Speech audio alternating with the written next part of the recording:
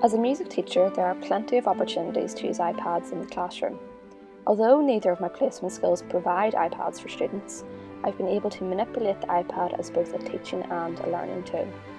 I have used GarageBand to record weekly composition tasks, which provides students with a record of progression and allows me to monitor their work.